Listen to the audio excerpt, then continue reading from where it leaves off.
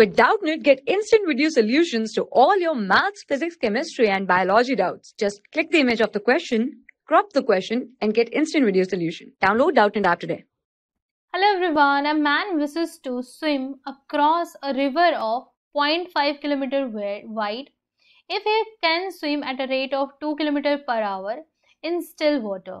The river flows at a rate of 1 km per hour. The angle along which the man should swim so as to reach the point exactly opposite to its starting point.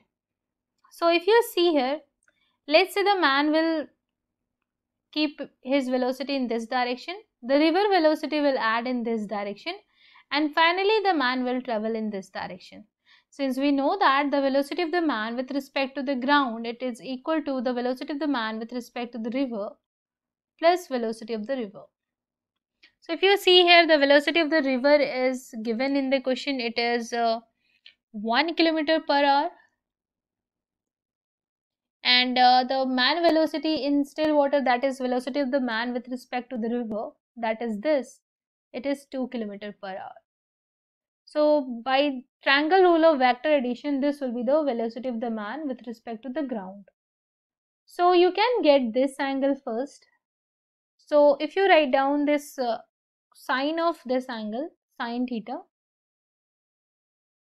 it is 1 by 2.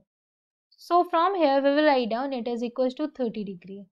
But we want the angle with uh, respect to the flow of the water right? So you, if you join the tail to tail so this is the velocity of the river.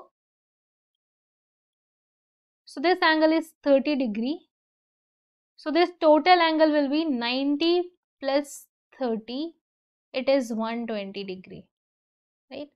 So if you see the man velocity should be at an angle of 120 the river and this will be the answer of this question. Thank you For class 6 to 12, IIT JEE and NEET level. Trusted by more than 5 crore students. Download Doubtnut app today.